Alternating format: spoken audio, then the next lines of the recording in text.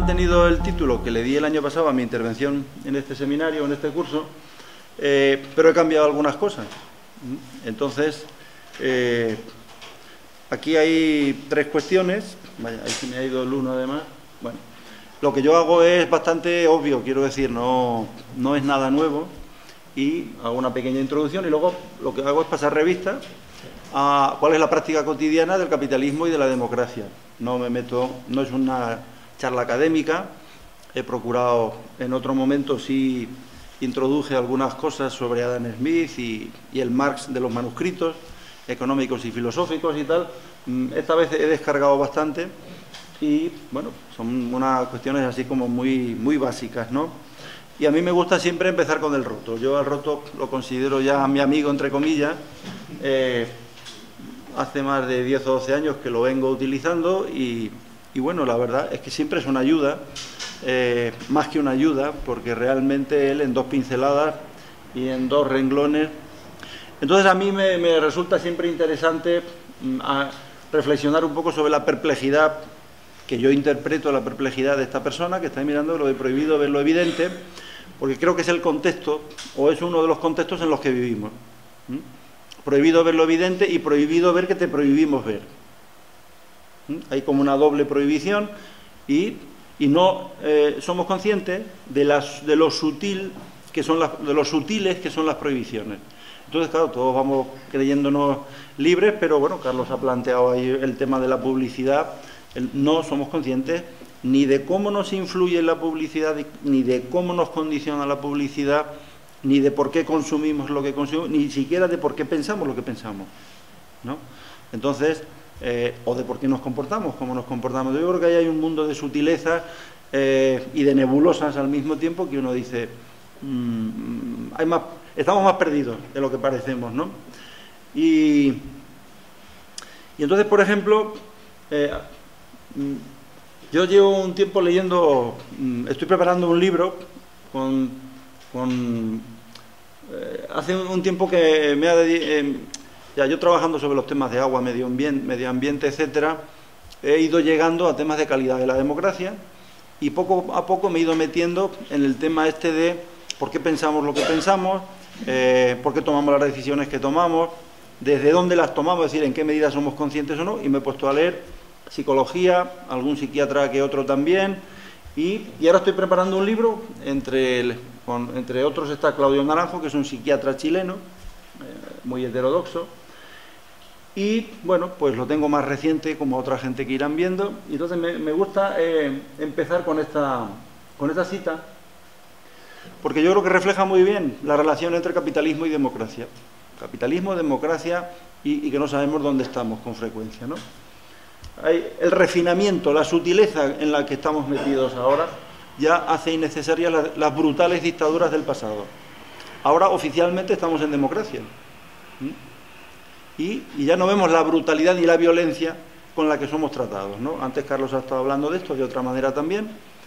Eh, y a través eh, de la propaganda, de la publicidad y de los medios de comunicación, pues se esconde, se esconde el despotismo y, la gente sigue creyendo que estamos en democracia y que sus derechos van a ser reconocidos, a pesar de que los están recortando, pero incluso antes de los recortes de derechos ya había una situación de derechos eh, en la nebulosa, porque no se podían ejercer. Por ejemplo, el derecho de participación, que la Constitución habla de él con mucha claridad, viene a decir todo ciudadano puede participar directamente o a través de los partidos, pero luego el ejercicio de ese derecho está creo que es en el artículo 8 de la Constitución y depende de que eh, los parlamentarios lo activen, por decirlo así, y no lo han, querido activar nunca. ¿Mm? Entonces, Claro, ahora parece que los recortes de derechos parece no son más evidentes, pero antes estaban también en suspenso.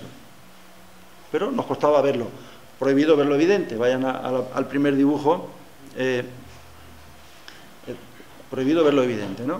Bien. Entonces, bueno, el poder de los negocios es este que, mm, bueno, tú has citado el caso del país, entre otros, ¿no? Y hay mucha gente que sigue diciendo, no, no, es que para mí el país es fundamental. Bueno, yo hace ya muchos años que no compro ni el país ni ninguno pero cuando he hablado con algún compañero de que ya hace años que lo dejaba de, comprar, se enfadaban, ¿no? Entonces, bueno, pues perfecto, ¿no? Ahí estamos, ¿no? Eh, este es otro aspecto que me parece interesante, el tema de la sociedad y la eh, interdependencia eh, con la mente patriarcal. O sea, la mente patriarcal es una forma de organización psíquica que refleja y perpetúa el dominio masculino en la sociedad y da prioridad a la agresión sobre la ternura, a la competición sobre la colaboración y a la explotación o a la expropiación sobre el cultivo. Esto, mm, esto yo sé que, y este economista que hace aquí hablando de estas cosas, ¿no? porque además todos ustedes esperan de un economista que hable de otra manera. Y de hecho, en mi propia facultad, hablar de estas cosas está mal visto, porque yo tengo que ser más serio. ¿no? Entonces, eh, más científico, entre comillas, bueno, como ustedes quieran, ¿no? Pero, en el fondo, Carlos ha utilizado también antes algunas palabras, eh, el tipo de lógica de racionalidad económica de sistemas cerrados sin, claro, cuando Carlos hablaba, la, economía que se enseña en las facultades de economía es una economía que no tiene, no, utiliza recursos naturales ni genera residuos. ¿Mm? Es una economía de sistemas cerrados, ajena, ajena, enajenada de la naturaleza, del medio ambiente, separada por completo. Entonces, claro, lo que yo estoy viendo en estas lecturas que estoy haciendo ya desde hace tiempo y alguna cosa he escrito, es que realmente la lógica, la racionalidad que se enseña en las facultades de economía legitima la locura. Legitima la locura de la que ha estado hablando Carlos, porque de lo que ha estado hablando Carlos es de la locura, de tratar de crecer en un planeta finito. Eso es de locos. Él ha citado a Bulding, pero eh, nosotros seguimos, yo me escapo un poco, pero en las facultades de economía de todo el mundo, esa es la lógica científica, no se pierdan, el, calificativo que se legitima. La racionalidad económica, maximización de beneficios privados, minimización de costes. Ah, costes, bueno, costes, ya, te diré yo lo que es un coste, ¿no? Tú no tienes por qué... Entonces, bueno, esto, honestamente, aquí se legitima la locura. El domingo había una entrevista en el diario este, El Confidencial, el diario electrónico, con el director de una escuela de negocios eh, de Cataluña y decía, la verdad es que creo que nosotros tenemos algo de culpa por el tipo de cosas que enseñamos. ¿Mm? Eh, bueno, mm, claro, ahora empezamos a... O sea, era tan, era tan obvio y al mismo tiempo la prohibición de verlo era tan, tan fuerte que, claro, si tú no entras en esa lógica en las facultades de economía, eh, pues te dicen que eres irracional, o eres racional en términos de economía y si no eres así, eres irracional. Claro, ¿entienden? El juego este terrible en el que estamos metidos, que esa era un poco también la transparencia anterior, aquí al lado, como en todas las facultades de economía, se legitima la locura. La locura es, lo que cuenta es este tipo de racionalidad y el resto que le den, hablando claro. Pero caer en eso eh, te margina. Eh, eh, te deja, la semana pasada me invitaron a Barcelona eh, un grupo de psiquiatras, y estoy muy contento, a clausurar una jornada sobre intersecciones culturales, y, trabajan con inmigrantes, los problemas que tienen de eh, los inmigrantes, eh, bueno, de, adaptarse a las lógicas, los conflictos que tienen y bueno, los distintos tipos de problemas mentales, y entonces me pidieron que fuera que diera una charla, una conferencia de clausura. Y claro, yo lo que les hice ver es que ustedes han estado hablando por la mañana de una serie de problemas mentales, pero en las facultades de economía legitimamos otros problemas mentales. Claro, porque en el fondo legitimamos que se tomen decisiones como las que, las que Carlos ha estado hablando, ¿no? Y, cuesta más ver esto, ¿no? Porque claro, de pronto dices, oye, hay otras, hay otras eh, actitudes, otros valores interesantes, ¿no? Importantes en el, en el sentido del humanismo, del que ha estado hablando también, y desde luego, si leen en los manuscritos, argumentar, bien, pero argumentar venciendo. No argumentar por una buena calidad de un argumento y, que, luego ya veremos, ¿no?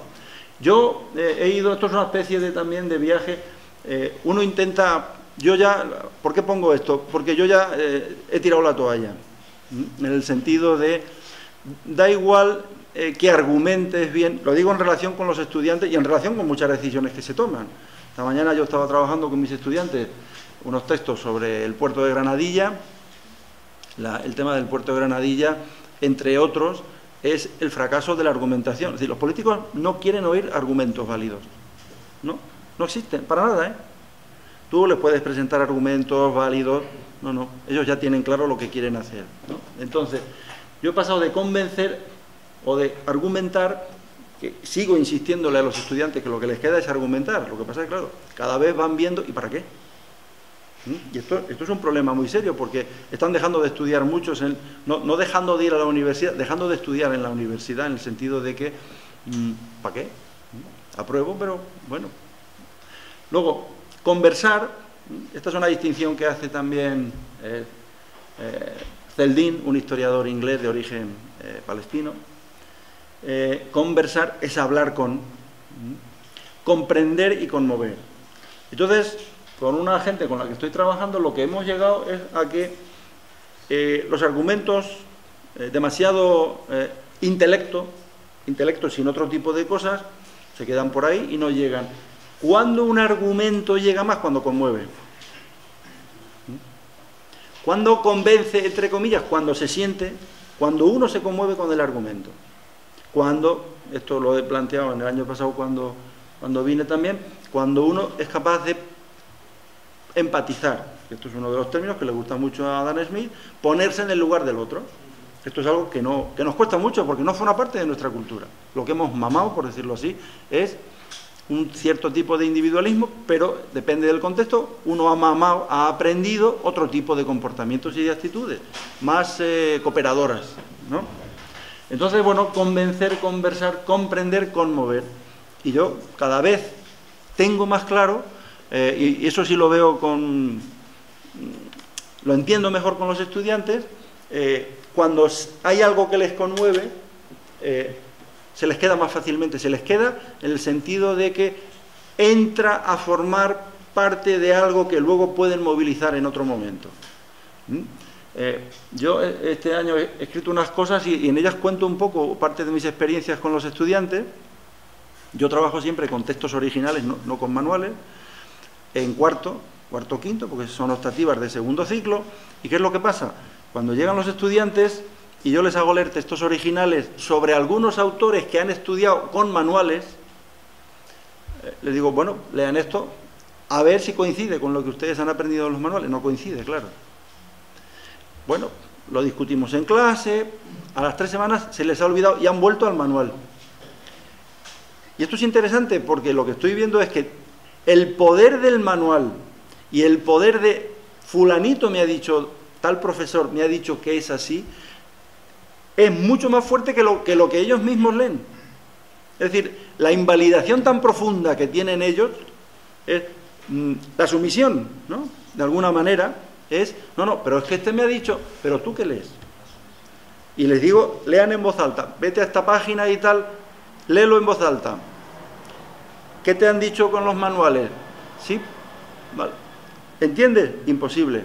Y esto es lo que eh, Kahneman, un, psicólogo que es premio Nobel de, Economía, en un texto que, bueno, ya lo ha dicho otras veces, dice, normalmente las personas tenemos dos sistemas cerebrales, cerebrales el sistema 1 y el sistema 2. El sistema 1 es el sistema que repite y el sistema 2 es el sistema que organiza, creativo. ¿Y cuál es el problema? que normalmente el 90% del tiempo estamos con el sistema 1. Y ahí no entra nada. Y es el sistema de repetición, de sumisión, de obediencia, de quien yo, yo no soy nadie, yo tengo que obedecer. Claro, es el sistema del apagado total. Repite, dice, ¿cómo me atrever yo a hacer, a, pensar, a ver por mi cuenta, a pensar por mi cuenta? ¿Entienden lo que le estoy diciendo? ¿no? Por ahí hay un tema muy, entonces, bueno, eh, no sé si conocen a Humberto Maturana, que es un biólogo chileno, que, bueno, él ha sido profesor en varias universidades eh, de prestigio, entre comillas. Entonces, claro, a mí me, interesa mucho este tipo de, planteamientos que él hace. Los seres humanos somos seres emocionales y usamos nuestro razonar para justificar o negar nuestras emociones. Pero creemos que estamos razonando. Volvemos al sistema 1, ¿no? El emocionar que vivimos determina en cada instante lo que podemos ver, admitir, escoger o hacer en ese instante. Pero volvemos a pensar o a creer que estamos razonando. Porque nos han dicho que somos seres racionales, homo sapiens, de que hablaba Carlos, pero claro, como dice Edgar Morin, dice homo sapiens u homo demens. ¿Dónde nos quedamos? ¿Somos sapiens? ¿Somos demens? Y yo creo que cada vez en el contexto en el que tomamos las decisiones y en el contexto en el que vivimos y las maneras que tenemos de comportarnos son más demens que sapiens, porque no las cuestionamos. Es, es lo que hemos ido aprendiendo por repetición, viendo, viendo porque aprendemos mucho eh, por, por el ejemplo, si todos lo hacen, tú puedes estudiar, siempre digo lo mismo, los niños estudian en el colegio conocimiento del medio aprueban la asignatura, pero la realidad que están viendo no tiene, es ajena por completo a ese conocimiento del medio que han aprendido. Entonces, ¿aprobaste conocimiento? Sí, aprobé conocimiento. Ah, vale, pues ya está. ¿No? ¿Eso tiene alguna, alguna influencia práctica en la vida? No, pero aprobé. Eh, y eso poco a poco se va olvidando. Ah, sí, es verdad, yo una vez estudié, ¿te acuerdas? No sé qué. O de los ciclos de materiales, ¿no? Mm, el carbono, ah, sí, sí, bueno, pero no se integra, no forma parte de un conocimiento del comportamiento o de una lógica, de un cambio de lógica, ¿no? Bueno, entonces el tema este de las emociones, claro, aquí Maturana dice, cuando hablamos de ecología, pobreza, ética, desarrollo sostenible, ¿hablamos de razones o de emociones? ¿Mm? Dice, ¿sabemos que hablamos de emociones, de motivos, cuando exponemos una argumentación como si fuese un argumento racional? ¿Nos damos cuenta de eso? Dice, dice claro, el problema, el problema es que estos problemas, ecología, pobreza, etc., no se resuelven desde la razón. Sería muy fácil resolverlos desde la razón, pero se, se, resolverán solo cuando hay un deseo de convivir. En este momento no hay deseo de convivir. Carlos ha estado hablando de eso. Estamos con una lógica que excluye la convivencia. ¿O no? La convivencia no cuenta. Ni aquí ni fuera de aquí el hecho de que nosotros podamos, él lo ha estado eh, expresando también, para que nosotros en conjunto podamos vivir así, tenemos que estar machacando por ahí fuera. Las guerras. Entonces, la lógica del convivir va en contra de la lógica eh, con la que funciona, eh, con la que funcionamos y con la que funciona este sistema. Entonces, claro, y nos decimos, no, tendríamos que argumentar, si el problema, si, sabemos lo que se puede hacer, él ha estado hablando, Georges Kurroegen, habla en, el año 70 ya de los ocho puntos, lo que él llama eh, eh, ocho puntos de bioeconomía básica. Y uno de ellos es el, fin de las armas. Claro, ¿eso es de razón o de convivir? No hay interés en convivir. ¿Mm? Las guerras continuas, y hablar también un poco de eso. ¿Mm? Lo que pasa es que ya ni las vemos, las tenemos tan delante que ni las vemos. Las hemos rutinizado. Es una patología normal. Pues sí, mira, ahora están ahí en Siria, dentro de poco están ahí chinchando. El otro día leí una noticia que me dejó sorprendido. El jefe del ejército israelí y el jefe de los servicios secretos israelíes se negaron en el 2010 a, atacar a Irán y le dijeron a Netanyahu, Netanyahu les dijo, prepárense que vamos a atacar. Y estos le dijeron, no. Estás loco, le dijeron, no, no vamos a atacar. Y entonces tú dices, hay gente, hay gente que piensa, hay gente razonable, y no creo que sean dos angelitos, ¿no? El del servicio secreto y el, y el, y el jefe del, ejército. Pero a, Netanyahu le dijeron, de eso nada. Claro, Netanyahu se quedó cortado. Lo tienen, si miran en internet, lo tienen todavía, ¿no? Y de hecho lo guardé, claro, porque son este tipo de noticias que dicen, uy, mm, bueno. Y Fromm, Fromm es una de las personas que a mí me ha estado eh, ayudando mucho a entender muchas cuestiones, de economía, estoy hablando, de, otra economía y de, la inserción del ser humano en esa economía. Si no tenemos relación emoción, emoción es conmover también, es moverse, ¿no? Con lo que pensamos, lo que queda del pensamiento es inteligencia, intelecto, intelecto sin sentimientos, que esto no era de lo que estaba hablando Marx. ¿eh? Habilidad para manejar conceptos, pero no sin atravesar la superficie de las cosas. Y esta idea, que la tengo muy resaltada, actitud creativa, es la capacidad de ver y responder, de ser consciente y sensible ante lo que uno percibe conscientemente. Hacerse un poco de caso, ¿no? Porque claro, mm, yo me doy cuenta cómo la lógica que se enseña en las facultades de economía, que luego se difunde por los medios, que es la lógica esta de valoración monetaria, análisis coste-beneficio, andar por casa y cuatro cosas más, eh, al final, Carlos también lo ha expresado muy bien, mm, claro, mm, lo ha dicho además con mucho cuidado, pero aquí ha habido un montón de gente que se ha dedicado a jugar al casino. ¿Mm? Que si no tienes un plan de pensiones, yo tengo ganas de hacer una encuesta en mi facultad. ¿Cuántos tienen planes de pensiones? ¿Cuántos tienen depósitos al TRAS? Porque claro, es que no puedo tener tal, y, pero tampoco lo quiero meter en un banco ético, porque es que te dan el uno. Eh, tal. Eh, y en acciones, mientras él estaba hablando, yo me estaba acordando que hace dos años o tres, o quizás más, en el médico, aquí en la Avenida Trinidad, en el ambulatorio, me encontré con un antiguo líder del STEC. Y bueno, mmm, prácticamente me, decía, que tú no tienes acciones, pero tú eres tonto. O sea, pero mira, si ahora, mira, fíjate, no sé qué, estoy ganando, y yo diciendo, no me lo puedo creer. No, me lo puedo creer. Y ahí estaba. No sé lo que habrá, si habrá escapado o no, ¿no? Pero claro, el tema de comprarse otra vivienda, porque mira, luego la puedes vender más cara y no sé qué, no sé cuántos más. El tema, los fondos de pensiones. La mayoría de la gente que está en fondos de pensiones no sabe que son una ruina y que arruinan. Todo el tema este del acaparamiento de tierra la mayoría de la gente de fondos de pensiones o de fondos de inversión no sabe que se están invirtiendo en compra de tierras en África y en otros sitios. El único sindicato que he visto que se ha negado públicamente a que sus fondos de pensiones se inviertan en la compra de tierras, el sindicato de profesores de California. Claro, Estados Unidos es que siempre hay algo que choca y dices tú, pero ¿y esto? Saben que lo que se estaba haciendo con su dinero y han dicho, no queremos que se compren tierras. Pregunten, ¿cuánta gente sabe lo que se hace con sus fondos de pensiones o sus fondos de inversión? O si tienen interés en crear cooperativas de crédito, que yo creo que es uno de los temas más interesantes en este momento. La relación con el dinero que tenemos, ¿no? Coño, me van a dar el uno, pero... Eh, bueno, ahí estamos, ¿no? Eh, es muy interesante, ¿no? Porque además yo creo que en la universidad, si tuviéramos un poco más de conciencia, de sentido así un poco más solidario en, esto, la línea, eh, podríamos intentar crear una cooperativa de crédito con unos objetivos muy claros. En este momento es fundamental ese, tipo de cooperativa. ¿no? Bueno. Este es el resultado final. Para el futuro, para comprender a los adultos tendrás que esperar a hacerte mayor y perder el juicio. Y yo creo que ese es el viaje en el que estamos metidos, el de perder el juicio. Eso sí, con todas las garantías. el colegio, el instituto y la universidad te van dando todos los certificados necesarios para perder el juicio. Pero uno cree que, no es que lo pierde, sino que lo encuentra.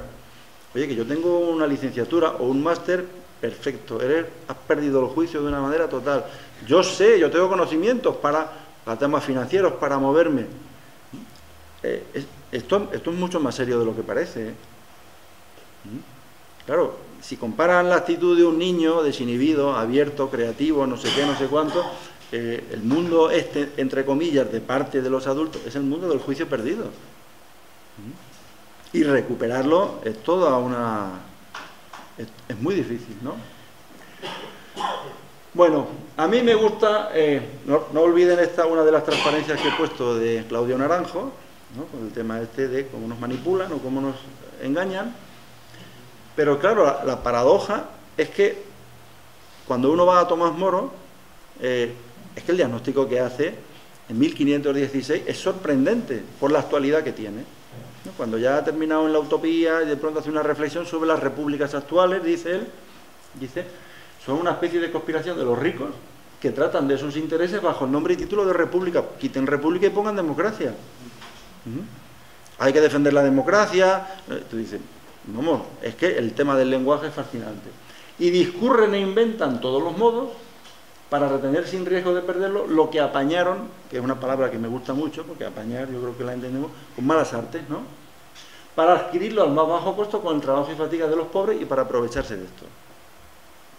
Estas maquinaciones Tan pronto como los ricos han decretado que se observen en nombre del pueblo, esto es lo que está pasando ahora mismo. Mire, es que tenemos que recortar la sanidad para mejorar la sanidad, para mantenerla. Esto es Tomás Moro puro. ¿Mm? O sea, la lucidez que tenía este hombre, que había sido abogado de los ricos, de los comerciantes ricos de Londres, sabía sus lógicas y cómo funcionaban y cómo manipulaban las leyes, claro. ¿Mm? Pasan a ser leyes estos hombres funestísimos que lo que sería suficiente para todos se lo reparten entre ellos con insaciable codicia. Este, de eso estaba hablando eh, Carlos antes, de la, codicia, ¿no? ¿Mm? Codicia, que eso, claro, en, la Facultad de Económica no se habla de codicia, se habla lógica y racionalidad económica. Pero esto es eso, es lo que se enseña. Codicia queda mal, ¿no? Tú dices, no, mira, yo tengo una racionalidad maximizadora del beneficio. Punto. ¿De qué estás hablando? Es lo mismo. Tú tira para adelante. ¿no? Hoy me estaba contando, lo dijo un alumno, lo contó en clase, eh, porque no sé si saben, Bankia una de las cosas que está haciendo es echando a la calle a un montón de empleados temporalmente, entonces le da mil euros al, mes durante tres años y un colchón de unos 20.000 euros. Sí, sí, con fondos públicos, claro. Y entonces uno en clase, un alumno mayor, dice, bueno, yo, eh, yo, estoy en esa situación.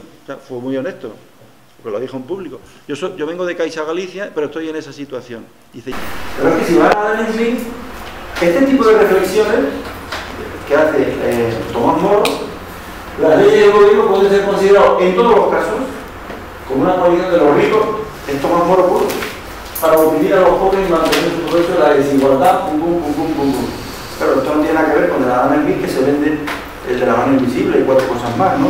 Era, eh, como analista del poder, a mí me sigue dejando asombrado eh, Adam Smith. Aquellos que tienen el mayor interés en defraudar y en imponerse al público son los que dictan la regulación del comercio.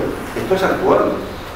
Bueno, no les quiero aburrir, pero eh, está muy bien empezar a ver estas cosas, el tema de la relación entre economía, leyes, reglamentación y quién, quién tiene capacidad para configurar las leyes y las reglas. ¿Mm? ¿Y al servicio de quién? Es otro de los temas que planteaba Carlos. ¿no? Hay muchos puntos ahí comunes. O si quieren ya damos otro salto, empezamos en 1516, vamos muy deprisa, ¿no? ya estamos en el 73, Galbraith en el año 73, lo que necesita la gran corporación en materia de investigación, obras públicas, apoyo financiero, se transforma en política pública, es lo que estamos viendo. Eh, así de sencillo. Los intereses privados se convierten en interés público, es que les vamos a salvar a ustedes. Tenemos que salvar la banca porque si no, nos hundimos todos. Bueno, hala, venga, a hundirnos todos. Y la banca también, porque tampoco la van a salvar. Están ahí trampeando. Entonces, claro, esto es un pensamiento patrocinado. Eh, y las facultades de economía y de empresa, cada vez hay más cátedras eh, patrocinadas por bancos que eligen a algunos profesores y los profesores lo aceptan gustosamente, ser los encargados de la cátedra Bancaja, la cátedra Caixa, la cátedra La Caixa, la cátedra Caja Canarias, de, un montón de cosas, ¿no? Miren ustedes por ahí, y entonces tú dices, ahí, eh, esto es lo moderno ahora, ¿no? Eh, cátedras bancarias, ¿no? Mm, ya está. Mm. Claro, ya vamos un poquito más allá, ¿no? Con Galeano, la economía, la economía es la expresión más eh, eficiente del crimen organizado. ¿Mm? Esto aquí y fuera de aquí. Si no, no funciona. Este tipo de economía, ¿eh? Eh, bueno, este último libro que acaban de publicar Juan Torres y Vicente Navarro es terrorismo financiero. va en esa línea. Por si teníamos dudas, porque de nuevo... Mm, el problema es que la, censura nos llega de manera tan fuerte que nos cuesta ver lo evidente. El primer dibujo que les puse, lo teníamos delante, sabíamos que lo estaban haciendo, aquí y fuera de aquí. Nos engañan continuamente, nos roban, ¿eh? saquean los fondos públicos. ¿Eso es terrorismo? No, pero eso, según esta gente, según el lenguaje correcto que se enseña en las facultades de economía, eso es gestión. ¿no? Bueno, ahí estamos. Las utilizo con frecuencia. Bueno, es un juego también, citar a un premio Nobel en un trabajo reciente. Bueno, los poderes de las grandes corporaciones, es lo que decía eh, eh, Galbraith en el 73, estamos redescubriendo continuamente la pólvora. Estamos como reactualizando las cosas que Galbraith vio con una lucidez y con valentía, porque ver eso así, coño, este se está pasando, ¿no? Stiglitz lo sigue viendo y le pone un nombre más claro, la finanza, la industria, el petróleo, el carbón, etcétera. No, eh, Carlos ha estado hablando de eso. ¿Para quién gobiernan eh, los gobiernos que tenemos? ¿No? Para esta gente. ¿Mm? ¿O es que lo hacen solo en Estados Unidos?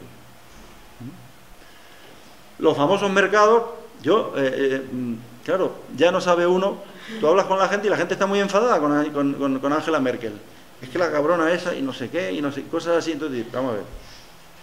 Pero ¿quién te ha dicho a ti que...? Pero claro, te meten ahí... Bueno, ahí tienen a Cameron, ¿no? Cuando estaba en Inglaterra, Obama, Merkel y Sarkozy. Los famosos mercados arreándoles caña Esto está sacado de una revista norteamericana Open Democracy, que tiene unos textos muy interesantes, desde mi punto de vista, y que, bueno, un dibujo de estos eh, no salen muy claramente. El roto quizás haya sacado alguno, seguro, pero vamos, quiero decir, vamos a dejarnos ya. Aquí te ponen nombre a los mercados, estos famosos mercados anónimos, que en el fondo tienen poco que ver con la idea de mercado, y sí de poder. Esto es de Albert Boadella, que tiene una parte que tiene un librito, no tiene varios libros, El rastro de Talía, es muy eh, gamberro, y aquí hace una definición un poco de la política eh, que a mí me, me, resulta interesante, porque claro, ya uno se aburre y dice, pero ¿cómo es posible que los periodistas sigan sacando a los políticos que no dicen nada absolutamente? Se inventan unas noticias que son irrelevantes, no tienen ningún contenido, y entonces mm, dice, bueno, los profesionales, él habla del gremio político, se encuentran envueltos por una nube de parásitos con micros y cámaras, buscando ansiosamente desperdicios con que justificar su presencia. La política se reduce a un inacabable toma y daca entre políticos, sustentado por unos medios que manipulan a su gusto la colección de banalidades, a pie de micro, para crear un juego continuo de malentendidos, ahí se me ha pasado una E, para obtener materia editable, polémica ficticia y elevando a la categoría de realidad la anécdota intrascendente. Esto es lo que estamos leyendo en, los periódicos continuamente, pero, pero ¿tiene algún contenido lo que le dice Rubalcaba al otro y lo que le contesta el otro y el otro que interviene también? Es, el vacío total, es la irrelevancia, es la banalidad. Y a mí que me preocupa de esto, la universidad se está convirtiendo en un espacio de irrelevancia y de banalidad. Trivial, trivial total sea, eso de mirar a los problemas y abordarlos con claridad, nos parecemos a este tipo de políticos de los que habla eh. Y volvemos un poco, o la economía, atraco a mano armada, dice Stiglitz. Terrorismo financiero, lo que están hablando Vicente Navarro, ¿no? Bueno, mm, ahí seguimos. El lenguaje, ¿no? Antes hablabas tú de inside job, este, así se escribe, ¿no? Porque la verdad es que aquí en este papelito no se ve muy bien porque está como medio escondido. Bueno, este es el tema también del lenguaje, ¿no? ¿Por qué? Eh, porque seguimos hablando de crisis, pero si esto no es una crisis, esto, esto es un saqueo total, ¿no? ¿Mm? Pero es que no se nos ocurre qué otra palabra utilizar, porque si no, la gente te mira con mala cara. O, los estudiantes, mm, vamos, bueno, el saqueo que estamos viviendo, te miran con una cara como diciendo, este, Claro, es, aburrido hablar de crisis porque esto es mucho más que una crisis, es un saqueo organizado. ¿Mm? Entonces, bueno, ahí como siempre el roto da en el clavo. Tú has estado hablando antes también de esto, esta tarde mirando en la plataforma esta de afectados ¿no? por las hipotecas. Eh, la verdad es que tienen un nivel de, reflexión que a mí me, encanta, ¿no? con una claridad. Las ejecuciones hipotecarias y los desahucios que hoy destrozan la vida de miles de personas son consecuencia de políticas públicas aprobadas por el PSOE y el PP. Claro, hoy se unen ¿eh? porque ya deben estar un poco asustados de que les vaya, de que la gente se empiece a rebotar con ellos, pero físicamente. Tienen miedo, yo estoy convencido de que tienen miedo. Estos, estos eh, eh, partidos se han caracterizado por han, permitido o han facilitado especular con la vivienda desde la época de Aznar y tal, han impulsado el sobreendeudamiento de la población y protegen los intereses de la banca. Eh, es la gente que estoy viendo que, habla con más claridad. La forma de afectados, tirando del hilo, van ordenando las ideas con una claridad eh, estupenda. Entonces, bueno, ayudan a mucha gente a entender. Esto aunque parezca que es de la crisis actual, es de la crisis financiera que se vivió en Asia a finales de los 90. Y que Galbraith, en un articulito muy corto que se llama Castigar a los banqueros, no a los trabajadores, la misma situación y el mismo, la, misma solución que ahora. Nuestros remedios rescatan a los banqueros, que causaron todo, y prescriben restricciones a la ayuda de quienes más padecen el desastre. El FMI, los banqueros y ejecutivos, es el mismo. La misma receta que además, la misma receta que cuando uno está metido en estas cosas de economía sabe que es la que se ha aplicado en América Latina durante toda la vida, que uno explicaba en clase, como diciendo el tema de los, los planes de ajuste famosos, los planes de ajuste del, Fondo Monetario y del Banco Mundial, las condicionalidades y tal, y uno lo veía eso lejano y decía, miren tal y cual, y, aquí estamos, en pleno plan de ajuste, con sus condicionalidades y, bueno, y con la misma situación, ¿no? Eh, claro, luego encima nos dicen que es que no podemos, tú decías, es que estamos eh, viviendo por encima y hay que bajar las pensiones, hay que recortar todo. Y uno de los recortadores, pues ahí tienen, ¿no? Recibirá una pensión vitalicia de 58.000 euros al año por tres años de trabajo en el Fondo Monetario. Pero claro, luego advierte que el sistema de pensiones puede entrar eh, en déficit en el, 2022. Entonces, claro, mm, la verdad es que Internet eh, es maravilloso, ¿no? Porque te pones a, buscar y encuentras continuamente este tipo de... Tú dices, pero ¿y esto? ¿Pero con qué legitimidad? Pero la gente lo sigue respetando. ¿Cómo? Y votando. Y votando, efectivamente. Perdón, disculpe, 2.184.000 euros recibe Ratos según este Le Monde. ¿Dos millones? 184.000 euros. ¿Pero de dónde? Anuales, ¿Pero de dónde? Ah, bueno, entre todos. Lo condecoraron este, ah, vale, vale. el gobierno. Bueno, esto, Carlos también ha hablado de esto, ¿no? Eh, Endesa mete a Salgado eh, y, bueno, pues ahí tienen. Eh, las grandes empresas están comprando políticos continuamente, fuera y dentro. Eso es claro, la duda. ¿Y cuando estás dentro, para quién gobierna? ¿Ustedes creen que esta gente estaría en Endesa o en otras empresas si cuando han gobernado, han gobernado realmente para resolver los problemas de la mayoría de las personas? Pues no. Entonces, este es uno de los dibujos, tú te referías a otro, pero a mí este también me gusta mucho, ¿no? Pasan de los negocios privados a la administración pública y de la administración pública a los negocios privados como si fuesen la misma empresa. Para ellos es la misma empresa. Fíjese que la mayor parte de los miembros del gobierno todos son oposiciones, todos son funcionarios excedentes con oposiciones o de economistas del Estado o abogados del Estado y cosas de ese tipo. Inspectores de Hacienda, dice, o sea, saben perfectamente cómo engañarnos a todos. Y se han formado en lo público, han hecho sus relaciones en lo público y ahora están jugando desde dentro para lo público. Perdón, para lo privado. Canarias tampoco se queda lejos, ¿no? Aquí eh, no, no hay un periodismo que hable con tanta claridad de estas cosas, esto ya es antiguo, esto es del año 2005, pero bueno, yo creo que el titular es bastante claro, ¿no? Este hombre, Carlos Rodríguez, yo creo que ya no escribe, eh, aquí no hay gobierno, es un sindicato de intereses, lo dice muy bien, ¿no? Con mucha claridad, y es lo que estamos viendo, ¿no? Esto es una de las cosas, claro, que a mí me indigna de una manera terrible, porque la he trabajado bastante, y claro, cuando el gobierno de Paulino Rivera ahora dice que tiene que recortar 800 millones de euros, a mí me gusta recordar que eh, la dotación, ¿saben lo que es la RIC? La Reserva de Inversiones de Canarias, pues desde el 94 al 2002, eh, la dotación anual media ascendía a 1.549 millones de euros. ¿Mm? Y en total han sido más de 12.000, hasta el 2002, 12.398 millones de euros de impuestos no pagados. Entonces, claro, tú dices, qué mal estaban los empresarios canarios, o algunos, que son los que han podido dotar eso, y jamás sabremos a, qué lo han utilizado, en qué lo han utilizado. ¿Mm? Nunca lo sabremos. Eso es una parte, esto también es, es claro, es para el el colmo de la indignación. Yo no pago impuestos, pero luego te presto dinero al gobierno comprando deuda pública y que la pagamos con los, pues con todos los toletes, ¿no? Que estamos aquí. Entonces, bueno, esto, mm, pero claro, no terminamos de ver bien eh, estos mecanismos eh, porque ellos los ocultan muy bien, ¿no? Es lo que veíamos también en una de las transparencias eh, iniciales.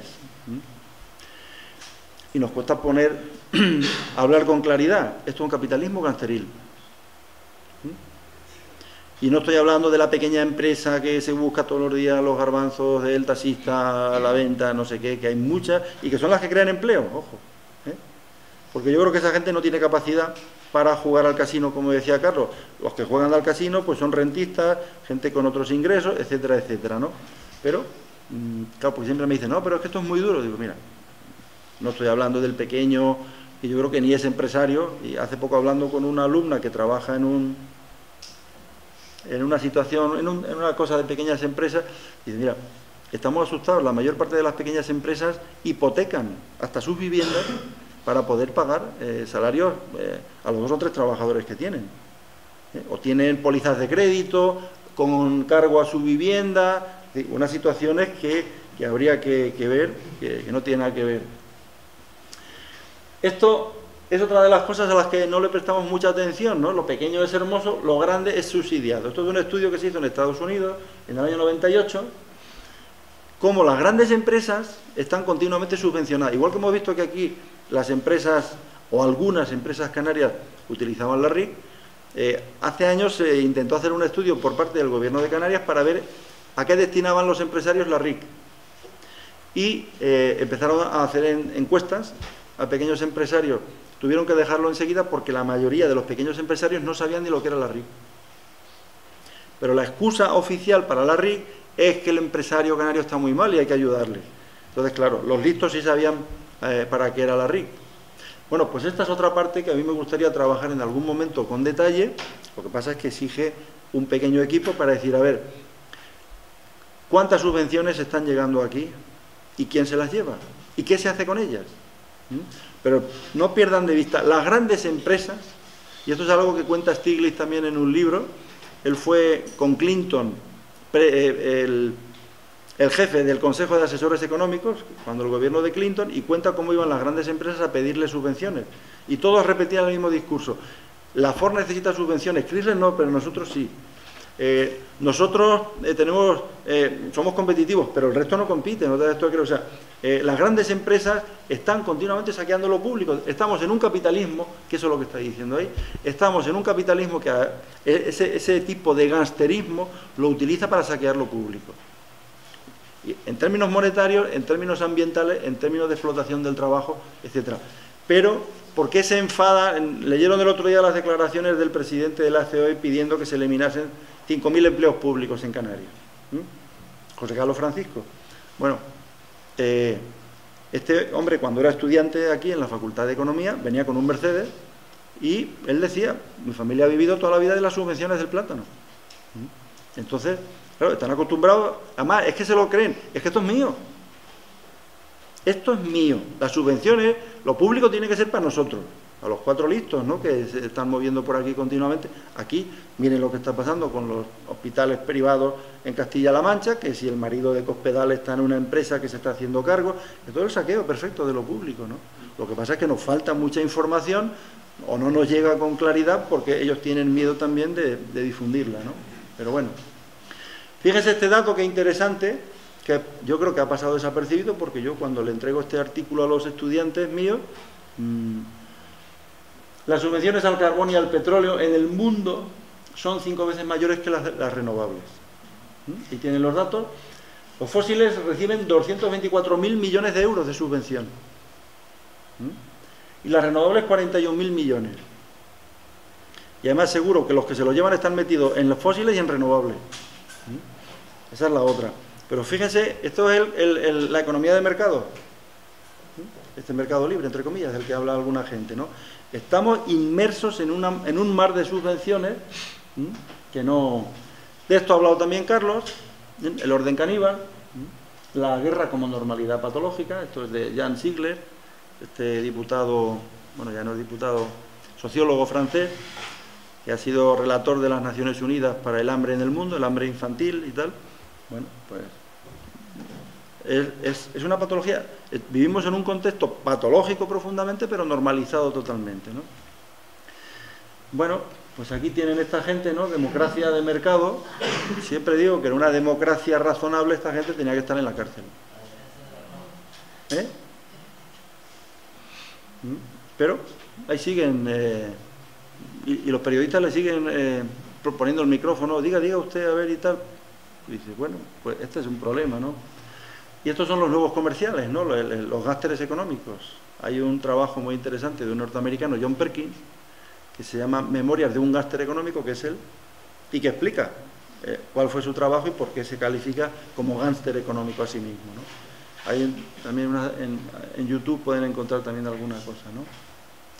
Más democracia de mercado, bueno, que ahora estoy leyendo por ahí que el PSOE lo quiere volver a sacar del armario para como la esperanza del, PSOE, eh, pues muy bien, así tiene un futuro espléndido el PSOE, ¿no? Pues aquí lo ven con Teodoro Obián, eh, pidiéndole, bueno, fue con una comisión de CIU, el PP y, alguien más, me parece que el Partido Nacionalista Vasco, eh, y otros que quisieron ir también, pero que dijeron, bueno, eh, véndenos petróleo que, que, te, que te legitimamos la democracia, hombre, ¿no? Ya está, y están contentos, claro. A partir de un cierto nivel de renta, las dictaduras se convierten automáticamente en regímenes homologados. Eso es lo que ha hecho el gobierno español. Homologar a Obiang y bueno, ya. Y pasado mañana a lo mejor te deshomologamos, ¿no? Si no pasa nada, si aquí esto es. O con, con este hombre, ¿no? Con Gaddafi, antes, esto es de un trabajo, ya lo he citado varias veces, de Pepe Escobar en rebelión. ¿Por qué le sacaron tarjeta roja a Gaddafi? Porque Gaddafi estaba a punto de transferir a bancos chinos cientos de miles de millones de euros. Si lo hubiera hecho, la banca francesa se había hundido. Entonces dijeron, este, tú de aquí no sacas un duro. Esto, es una democracia, tú que te has creído, ¿no? Y le montaron todo el tinglao y, bueno, entonces, ahí, eh, este hombre, Pepe Escobar, eh, es un analista, a mí me gusta mucho. Entonces, bueno, pues este, primero eran amigos y después eh, Gaddafi es un peligro y hay que acabar el trabajo. Esto es el oeste. Esto es el oeste totalmente. Y el PSOE, para no quedarse fuera, pues Blanco diciendo que está orgulloso ¿no? del, trabajo. España debe sentirse orgullosa por participar en el conflicto. ¿no? Bueno, pues ahí estamos. ¿no? Mm, claro, esto es, tú dices, mm, son un peligro público. ¿Qué posibilidades de la democracia? Pues este Harman, esto es interesante también, dice, los cambios fundamentales resultan de la gran cantidad de personas, de que gran cantidad de personas cambien su manera de ver. Porque claro, aquí estamos hablando de una manera así, pero eh, cuando yo hablo en clase de estas cosas, yo tengo a veces, eh, hay bastantes alumnos que se me rebotan. Y hay alumnos mm, que insisten que todo se puede plantear en términos de análisis coste-beneficio y que la democracia es el, es el, menos malo de los sistemas. Eh, y te lo repiten, ¿eh? Esta tontería que dicen mucho, este es el menos malo, y claro, te quedas ahí y, entonces yo les pregunto, ¿es la experiencia que tú tienes? Y hace poco fue interesante porque estábamos en clase discutiendo un texto, planteaba la democracia, reglas de juego, economía, y había un alumno, ya de unos 40 años, que insistía, pues yo, eh, la democracia a mí me va muy bien, eh, es el menos malo de los sistemas, y yo decía, ¿es tu experiencia? Yo decía, no, a mí me han embargado. Y claro, yo ahí fui muy prudente, digo, ¿Te han embargado? Bueno, bueno, pues. Pero a ti te va bien, ¿no? Bueno, eh, entonces, no sé, quiero decir, eh, el tema este de cómo somos nosotros los que de alguna manera legitimamos y deslegitimamos a través. Porque es así, lo que pasa es que no somos conscientes de eso. El otro día contaba una anécdota, hace unos años invitamos a Vicente Navarro aquí a dar un seminario y nos contaba que estaba una vez en el dentista en Washington o donde él vivía en Baltimore, allí en Estados Unidos, y se cogió una revista de estas que hay de los dentistas, y eh, había una entrevista con el que era el, general en jefe del ejército norteamericano cuando la guerra del Vietnam.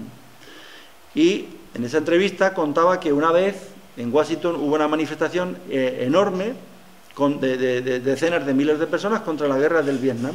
Y ese general estaba en la Casa Blanca con el presidente y que estaban hablando el presidente y el general americano y que entonces el general le dijo al presidente, mira, todos estos que están ahí fuera, el problema que tienen es que no son conscientes del poder que tienen. Si fueran conscientes, aquí no durábamos nosotros nada. Y esto nos sigue pasando. No somos conscientes de que legitimamos o podemos deslegitimar el sistema de poder en el que estamos metidos. Ya estamos viendo también que estos están muy salvajes y con una violencia terrible, ¿no? Como hemos visto en Madrid hace poco, ¿no? Entonces, pero esta idea de que la gente legitima y puede retirar la legitimación es uno de los temas que yo creo que es interesante empezar a moverlos mentalmente para... Eh, bueno, lo que pasa es que luego nos cuesta, eh, sales a la calle y no va mucha gente y cosas de este tipo, ¿no? Pero por ahí yo creo que el, el primer paso, desde mi punto de vista, luego podemos hablar, es mental. Esto es lo mismo que lo de legitimar o deslegitimar, ¿no? Ya no se creen las mentiras, así no se puede gobernar. Si dejamos de creernos las mentiras, esta gente está automáticamente deslegitimada, por mucho que saquen a la policía. Pero nos cuesta, si yo no estoy aquí, ojo que no estoy aquí metiéndole el dedo en el ojo a nadie, eh, esto es muy difícil. O, lo, vemos como difícil. Luego, como decía este general, si supiéramos el poder que tenemos. ¿por qué están intentando cambiar hoy el PP y el PSOE todo esto, lo de la ley hipotecaria? Porque están asustados y porque de pronto están empezando a ver esto de los suicidios no se puede seguir manteniendo. ¿Mm? Lo que pasa es que si entran en la página web de los afectados por la hipoteca, ellos dicen que esto no va a cambiar nada, porque no va a cambiar sustancialmente la situación. ¿no? Entonces, claro, es otra imagen o otra, otra, otra cuestión así de imagen, un poco para que la gente se, se calme, posiblemente. ¿no? Bueno, dos o tres pinceladas sobre el tema, claro, democracia como ejercicio de la razón pública, es lo mínimo. Debatir debates públicos de calidad con argumentos, imposible. Esta gente, los parlamentos hace ya, si es que alguna vez lo han sido, en los parlamentos no se debate. En los parlamentos se habla, bla, bla, bla, bla, el otro cuenta, blu, blu, blu, blu, y que se vote y total, a mí, oídos sordos, ¿no? Los parlamentos no son espacios de debate público. No hay confrontación de ideas, ni de argumentos, ni de nada. Nadie va a convencer, ni a conversar, ni a conmover. Además, al contrario, es, es una pandilla de cínicos y cínicas allí sentadas, en plan, no sé si recuerdan, a la gente más joven quizás, en, las noticias del Guiñol, hace muchos años, ¿no? En la, cuando era Canal Plus, ahí hacían con los guiñoles algunos hipotéticos debates en el Parlamento, búsquenlo en Internet, porque es exactamente eso, ¿no? Ahí salía Borrell con las páginas amarillas, como dicen esto, o sea, era, era, una burla muy, muy buena sobre lo que era un Además se insultaban allí, se tiraban de todo, no sé qué. Bueno, e, esto es lo que estamos viendo. ¿O es que ustedes han visto alguna vez un debate público en el Parlamento? En cualquiera de los parlamentos que tenemos, es imposible. No tienen la actitud de dialogar, ni de debatir, ni de nada. Tú di lo que quieras, yo ya tengo mayoría, pues, te quedan cinco minutos y votamos y nos vamos. Es que es así. Entonces, eh, vamos, se le llama democracia por... Fíjense lo que dice Sen, que es este premio Nobel de Economía, ¿no? ¿Qué es exactamente la democracia? Para empezar debemos evitar su identificación con la idea de gobierno de la mayoría. Esto es lo que tenemos, una democracia electoral, bipartidista y del gobierno de la mayoría, aparentemente. Y no hay más y, y, y, es lo que tratan de transmitir, que esto es todo lo que nos pueden dar. Eh, bueno. Y el roto de nuevo lo recoge muy bien, ¿no? Este lo pongo mucho, os bajaremos los sueldos, os quitaremos derechos, nos llevaremos la pasta y además nos votaréis, ¿no? Idiotas, a mí me gusta decir idiotas, ¿no? Porque, mm, pero es como nos han, o sea, es lo que decía Carlos, somos seres socialmente construidos.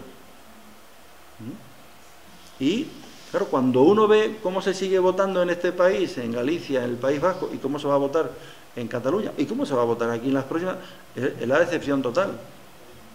¿Mm? Porque es esto, ¿no? Esto lo sacó antes de las elecciones generales, el roto. Y aceptó plenamente. O sea, cómo, nos, ¿cómo nos manipulan, cómo nos engañan? ¿Mm? La gente piensa que sí, que hay dos partidos fundamentales, ¿no? Bueno, entonces, bueno, a mí me gusta mucho decir, bueno, mm, si alguien puede, Alice Miller es una psicóloga que ha trabajado mucho sobre el tema del maltrato infantil en Occidente, en Europa fundamentalmente, dice, en contra de lo que podemos pensar, la sociedad europea, en la sociedad europea hay un profundo maltrato infantil, pero al que, violencia a la que no le prestamos atención. ¿Mm? Y esto pasa, eh, eh, supone un, daño terrible.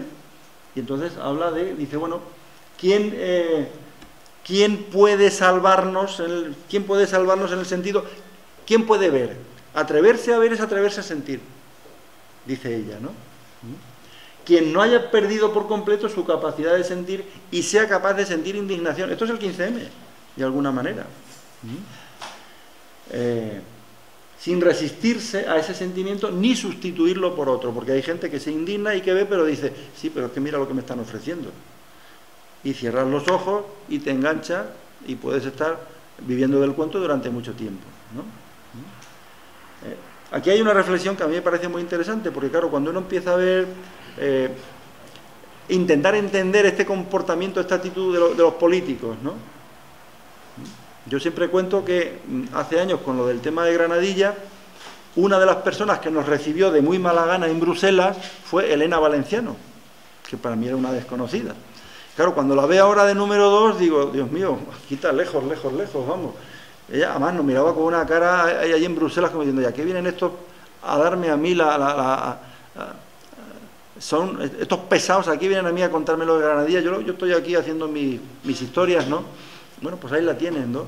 Son gente con un discurso vacío, no tienen escrúpulos, no tienen sentimientos. ¿eh? Entonces tú dices, ¿qué está pasando aquí, no? Porque de nuevo ahí, Marx eh, tiene cosas muy interesantes. O sea, son gente profundamente enajenada o profundamente yo no quiero saber nada porque tengo aquí un chollo y lo tengo que, que, mantener. Y a mí me gusta, yo estoy leyendo hace tiempo estas cosas, es decir, mm, ¿qué hay en la cabeza y en el corazón de esta gente, no? Para estar ahí mintiéndonos continuamente, engañándonos continuamente, con esas ruedas de prensa que no se cree nadie, ni ellos, los primeros. Entonces tú dices, ¿pero qué está pasando aquí, no? ¿Mm? Porque yo no creo que, el otro día hablaba con un compañero y decía, nada, es un tema de supervivencia, ¿no? Porque la gente se engancha ahí. Es más profundo desde mi punto de vista. ¿Cómo puede vivir una persona consigo mismo engañándose continuamente? Y engañándonos. Y dormir. Y es que seguro que duerme mejor que uno. Entonces tú dices, bueno, esto es la locura, estamos en manos de gente que... Eh, ahí hay un psiquiatra de Madrid que distingue entre psicópatas o malvados. Una parte es de, lógica, que, la lógica está económica, de la que nos tratamos de escapar algunos, hay otras cosas, de otras maneras, pero luego es que esta gente además tú dices, ¿pero qué tienen en la cabeza, no? ¿Mm? O en la cabeza y en el, corazón, ¿no? Esto es Fromm. Dice, bueno, somos seres humanos socialmente construidos. ¿Qué hombre necesita esta economía para funcionar? ¿Mm? Pues ahí lo tiene, un consumidor, de esto ha estado hablando también Carlos, que tenga la menor individualidad posible, que esté dispuesto a obedecer a una autoridad anónima. Yo creo que ahí el tema de los parlamentarios mm, es que se someten con un placer impresionante. ¿Sí? Es una cosa, yo no sé, eh, no entiendo bien qué es lo que pasa, pero vamos, se someten de una manera, pero luego van de libres, ¿no? Cuando saben que, no pintan absolutamente nada, como decía Carlos, se someten a su jefe, a su líder, para poder estar en las listas dentro de unos años, cosas de este tipo, ¿no? Dice, el hombre moderno se convierte en un eterno lactante.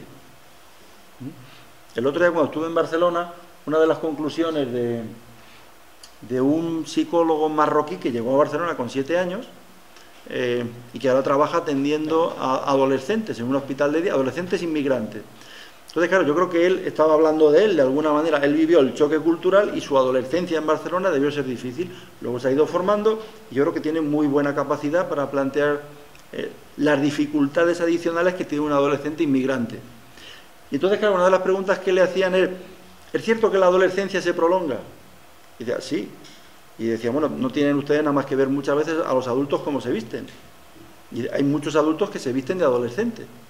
O sea, eh, con estos pantalones recortados, los piratas estos que llaman y unas cuantas cosas más. Y hay gente que no quiere crecer.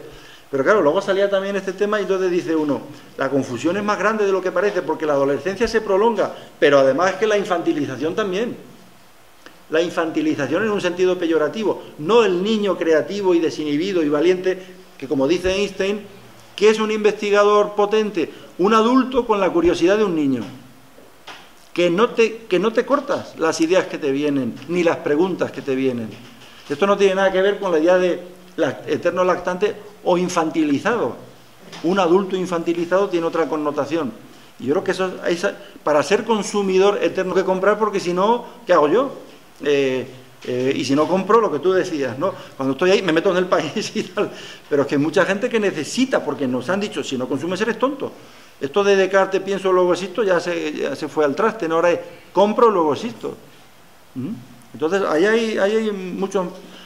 Y esto de Rickman, que a mí me, me, gusta, claro, es como lo del eterno lactante, pero mucho más duro, ¿no? Ahora, el derecho a comer langostinos en Navidad, el niño, que yo quiero langostinos, coño. Claro, el coste de los langostinos, ya saben, ahí los tienen a 7, 6, 7, 8 euros, el, precio, el coste es salvaje. ¿Mm? El coste es salvaje, ¿no? O el otro día leía que en Estados Unidos la infantilización es el derecho a tener la gasolina barata. A mí, o sea, a un norteamericano, bueno, típico de esto, le quita la gasolina barata y te sale a la calle. Hace también unos años en el País Vasco, en Guernica, en un curso de verano, había un, un cura, esto muy respetado allí, el petróleo está demasiado caro, no sé qué, no sé cuánto, y yo le dije, pues no, ahí también no, para mí está demasiado barato, no somos conscientes del coste real del petróleo, el daño que genera, las muertes, y se me quedó mirando como diciendo, mm, pues no lo veo yo, digo, bueno, pues muy bien, ¿no? si no vamos a estar aquí, ¿no? Pero mm, es como lo del coltán que tú estabas diciendo, no tenemos ni idea de las muertes que hay detrás de cada, de cada cacharro de estos, ¿no? O lo de Apple, no lo he puesto, ¿no? Pero ya saben que Apple, eh, Dell y Hewlett Packard fabrican en China todos, con una empresa, eh, Foxconn. Las condiciones de trabajo son 16 horas diarias, 6 días a la semana y un contrato previo por el que te comprometes en caso de accidente, muerte o muerte, a que ni tú ni tu familia van a demandar a la empresa. Y te prohíben suicidarte en la empresa además. Sí, sí. Y han puesto redes en las empresas, en vez de mejorar las condiciones de trabajo, ponen redes. Porque te dicen, suicídate si quieres, pero aquí no. Y en, horas de trabajo tampoco, no me fastidies, ¿no? Este es el capitalismo, ojo, que son empresas occidentales punteras las que están haciendo esto en China. ¿eh? Que no son las cutres, que son las que luego tiene uno en los cacharros que compra y tú dices, eh, y, no relacionamos, ¿no? Bueno, bueno, aquí tienen también otras cosas, ¿no? Y claro, el cambio que da Front hacia el carácter revolucionario, el, carácter revolucionario, que de, de, esto es de lo que ha estado hablando Carlos también y de esto habla de alguna manera Marx en los manuscritos económicos, el de una persona sana, viva y cuerda, desobediente, libre e independiente que esto es mucho más difícil de lo que parece, muchísimo más difícil, ¿no? Una persona sana, etcétera, despierta. Eh, ya saben ustedes el sufrimiento que supone despertar en un mundo en el que está todo el mundo dormido, semidormido, te quedas solo. Y además encima te, te miran mal. Y este que se cree que, está despierto, ¿no? Tú vas de, enterado. Bueno, cosas así. Desobediencia civil, bueno, pues este es otro de los temas interesantes. No le presto más. De esto ha estado hablando Carlos. Este es el dibujo que sacó el roto el 15M, que yo creo que es uno de los mejores dibujos que han salido en mucho tiempo. Los jóvenes salieron a la calle y súbitamente todos los partidos envejecieron, todos, absolutamente todos. Porque de pronto los partidos se quedaron, la gente no quiere estos partidos con estas lógicas, ¿no? Esto es un reto tremendo para los partidos que se dicen de izquierda, ¿no? Las relaciones de poder o de cooperación. Y yo creo que eh, aquí se está aprendiendo muy poco, ¿no? El momento actual que relacionarnos de otra manera. Ser insumisos a las lógicas de poder indistintamente de quienes sean los titulares de las mismas. Las relaciones han de ser horizontales y de igualdad. Lleven el tiempo que lleven. Bueno, yo lo vivo así, ¿no? Me parece que este es el tema clave. Si no, Mm, no, que nadie espere, ¿no? Cambios reales, ¿no? El tema de la senda de la cooperación a mí me parece muy importante. Las alternativas, Frei Beto en un trabajo del año 2009, no se van a engendrar en la cabeza de los intelectuales. El 15M no es una construcción intelectual, académica, que sale de la universidad. Sale de gente formada, pero también con un componente eh, psicosocial, como diría Castoriodis, muy interesante, más abierto, ¿no? Eh, no va a salir de los intelectuales, ni de la universidad, ni de los... va a venir de la práctica social. Y esto es lo que estamos viendo, la, plataforma de, afectados por la hipoteca y otro tipo de plataformas están saliendo de la práctica social. ¿Mm? Luego pueden pedir ayuda, o hay gente que se ofrece, abogados, economistas, eh, psicólogos, trabajadores sociales, eh, hay gente que está... aquí hay un campo muy interesante y que no está empezando y no pero yo creo que mm, aquí Frei Beto hace un diagnóstico muy interesante, las cosas van a venir de la práctica social, de luchas populares, movimientos sindicales, campesinos, indígenas, etcétera, etcétera, etcétera. ¿Mm? Yo creo que todos somos conscientes de lo que podemos esperar, tanto de la universidad como de la mayor parte de los partidos políticos. No nos engañemos. Y de las lógicas de poder, vertical, no horizontal. Y aquí el aprendizaje es fundamental, porque o aprendemos estas nuevas lógicas relacionales, pues yo creo que nos vamos a seguir estrellando, estrellando y estrellando, ¿no? Esta es la última, eh, la esperanza. ¿Mm? Eh, ¿Tenemos esperanza? A mí me gusta mucho esta frase de esta cita de Václav Havel. Dice, bueno, la esperanza no es un estado de la mente, es algo que tiene sentido si lo hace. Eh, ¿Tiene sentido para mí venir aquí? ¿O tiene sentido para mí salir a la calle? ¿O tiene sentido? No depende del resultado que tú vayas a esperar, que también, pero el resultado, el resultado final de que se cambie algo pasa porque tiene sentido salir a la calle, eh, apoyar a la gente, cosas de este tipo. Y a mí esta definición de esperanza me parece muy interesante. No es la convicción de que algo va a salir bien, sino de que tiene sentido. ¿Mm? Es un compromiso con uno mismo. Tiene sentido apoyar a la gente, ponerte en el lugar de otro. Bueno, yo he estado ocho años o nueve metido con el tema de Granadilla mm, y tenía sentido, para mí sigue teniendo sentido. Que hemos perdido, ya lo veremos, ¿no? Están ahí con las obras, pero para mí tuvo sentido y tiene sentido haberme metido ahí. Sin cobrar un duro, con una lógica, con una actitud de decir, yo siento que esto es importante. Por ahí es por donde yo creo que también hay, hay mucho que hacer. Pues nada, muchas gracias.